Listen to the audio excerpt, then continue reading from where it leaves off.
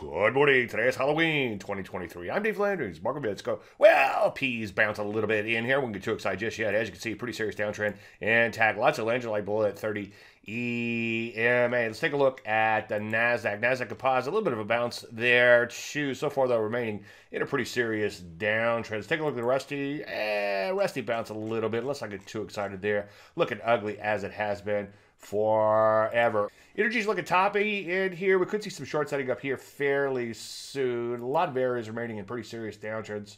There's durables, foods, banks, insurance. The list goes on and on drugs. Looking pretty ugly in here. They've imploded as of late. A little bit of a bounce. Ditto for a biotech. Looking pretty ugly in here too. So what do we do? Well, same as it ever was. On a bounce, we should see a plethora of shorts. Any questions, as usual, Dave at DaveLandry.com. I'm Dave Landry, and you start the market in a minute.